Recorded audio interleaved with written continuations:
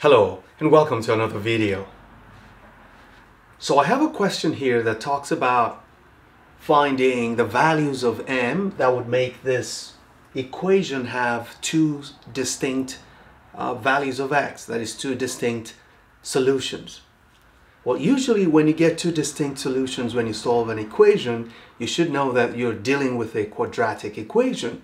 Um, I know this has x squared and this has x squared also, but you know that if you divide this this by this, it's going to eliminate one of the x's and then you're going to have x squared and then a term in x and maybe a constant or no constant.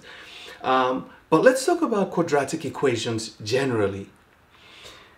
If you use the quadratic formula, you would observe that you always get two answers every time just because you have to do plus or minus and that's where the problem sets in or the distinction between the two answers that you get. Firstly, let's write the equation. So you have x will be equal to minus b, um, let's put it this way, plus or minus the square root of b squared minus 4ac over 2a. Wait, what makes you get two different answers is because you have plus, you're adding something at some point, and you're subtracting something at some point. So you always get two distinct answers. Unless you're adding or subtracting zero. So you notice that the only case in which your answers will not be different is if what you're adding is zero. You're adding nothing and you're subtracting nothing okay? If you're adding nothing or subtracting nothing, it simply means this portion, okay, where you have the square root of b squared minus 4ac is zero. And that can only happen if we square both sides, you're gonna end up with b squared minus 4ac equals zero, or you have b squared is equal to 4ac. This is the key to the question that we have. So let's go back to the question. If this equation, which I can see is going to be a quadratic, we're going to take care of this later. If a quadratic equation has two distinct solutions, it means what you have here cannot be zero. And if what you have here is not zero, it means that b squared minus 4ac is not zero, and it also means b squared is not 4ac because if b squared is 4ac then you cannot get two distinct solutions. You're going to get just one solution because this plus or minus will be plus or minus 0 and your answer is just minus b over 2a so we can come to a conclusion that a quadratic equation will have two distinct solutions if this does not happen. So we can say that um, there are okay two distinct solutions. Two solutions. If b squared is not equal to 4ac okay so you see the explanation. Now let's solve the problem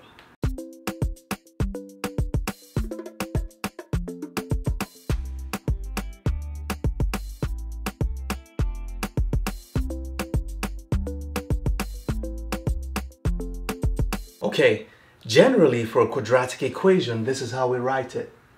ax squared plus bx plus c, we know that a is the leading coefficient and b is the um, is the coefficient of x and c is the constant. So we have to try to write this to look like this and then see what can be our b and what can be our c and what can be a.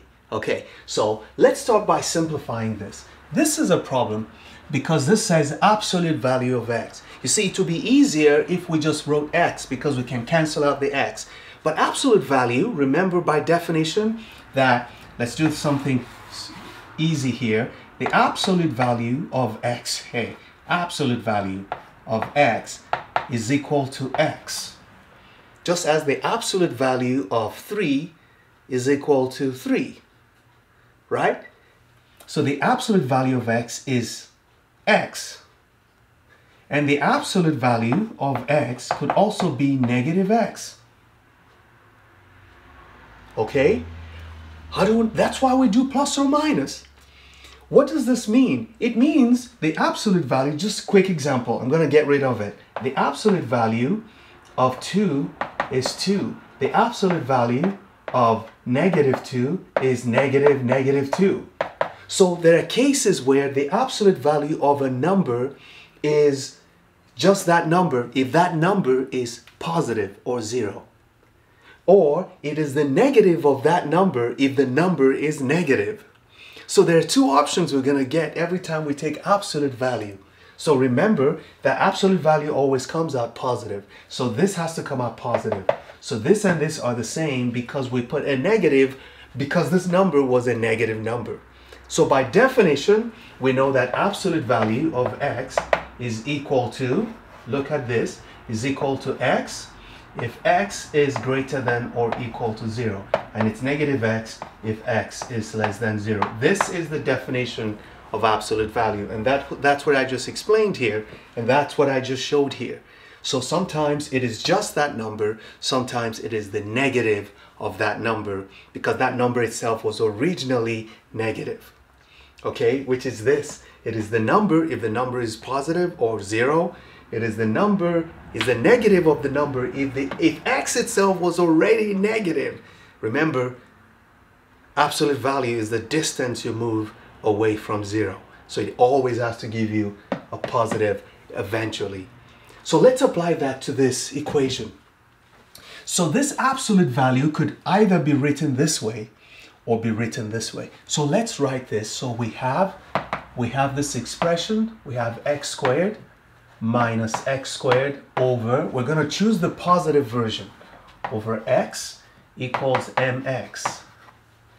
Or we're to choose the negative version. It's to be x squared minus x squared over negative x equals mx. So those are the two versions of this equation. And then we're going to figure out when we have two solutions or when we have, oh, that's what we're looking for. We're looking for a case where b squared is not equal to 4ac and then we're going to have two distinct solutions. So let's simplify this. We've got x squared. This will give us minus x. I'm going to bring this in now and it's going to be minus mx equals 0. Or we're going to get x squared. This will give us plus x and this is minus mx equals 0. So let's write this as if it's a quadratic equation. As you can see, there is a x squared, and there's x, and there's x. So we can factor out and make it look quadratic. So what we have is x squared minus, if you factor out the x here, you're going to have um, 1, and there's going to be plus x.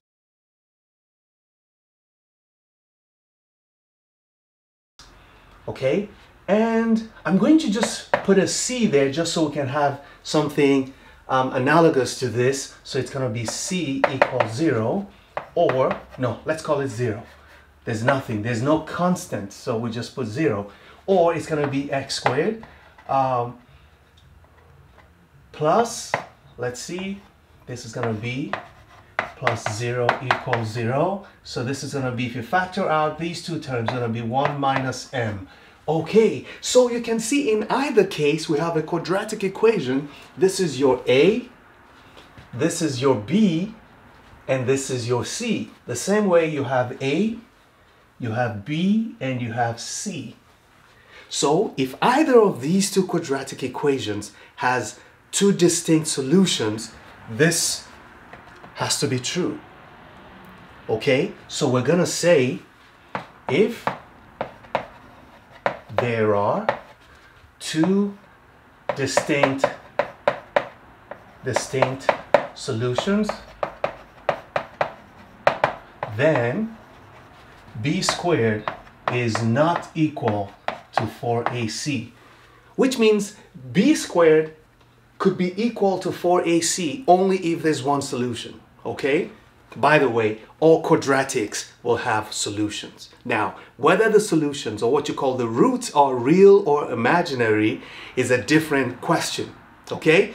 But they have, so we're not talking about whether they have real roots or no real roots, no. We're talking about whether they have one solution or two distinct solutions and this is the key to it b squared cannot be equal to 4ac to get two distinct solutions so now let's go here what's the b for this problem as you can see in this problem our b is negative 1 plus x so we're going to say that negative 1 plus x squared that's our b squared is not equal to 4 times A. What's our A? A in this case is 1.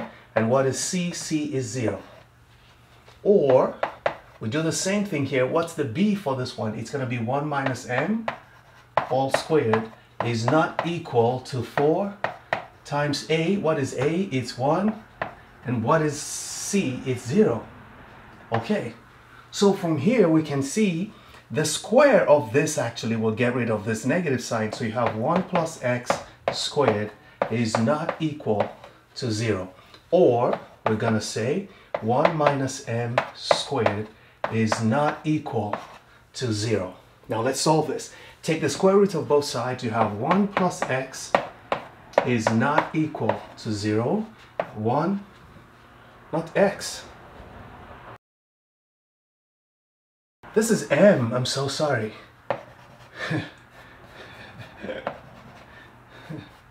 okay. 1 plus M. Looking for values of M. Okay. Or 1 minus M, take the square root of both sides, is not equal to 0. And we can say clearly if 1 plus m is not equal to 0, then m is not equal to negative 1 or m is not equal to 1. And so we can say m